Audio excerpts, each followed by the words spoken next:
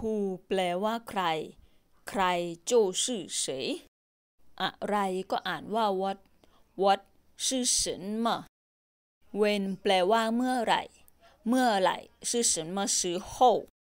จะไปที่ไหนเราก็ใช้ where where 就是哪里 why ทำไมเธอไม่แคร์ทำไม就是为什么